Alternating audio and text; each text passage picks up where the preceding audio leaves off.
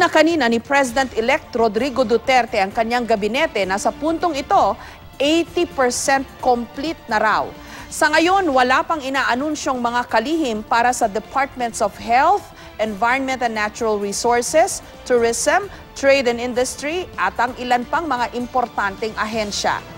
Inaasahan daw niya na ang kanyang mga napiling opisyal tapat at may integridad.